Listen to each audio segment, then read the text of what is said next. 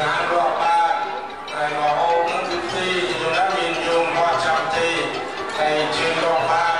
ហើយមានកន្លែងបានស្គលវិច័យត្រូវក្រុមពុទ្ធិកាណាមានកន្លែងទទួលហើយជួយរៀបចំដល់យមទីណា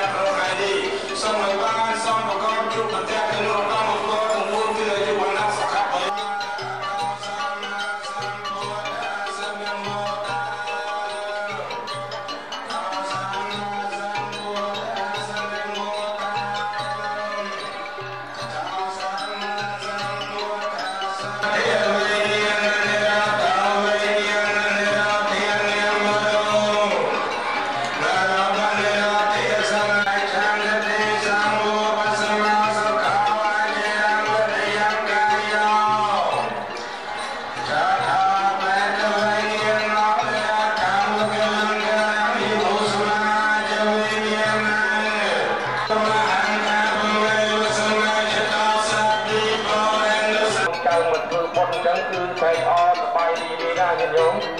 ហើយមិនមិនងាយមានមេណាដឹកនាំអញ្ចឹងទេនៅរិវាបូរាបរិបូរេ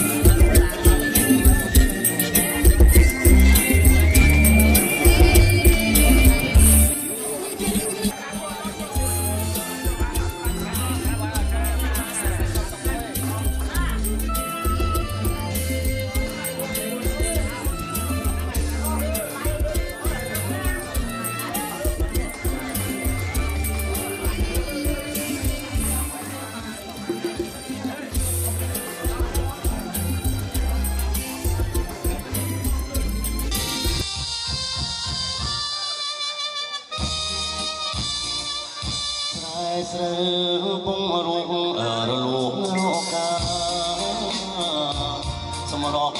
បុខាដំរីជាប់ខាគឺអាចារ្យលក្ខសាមិនជឿផ្នែកលើគង់ភៈបុផាពលៈ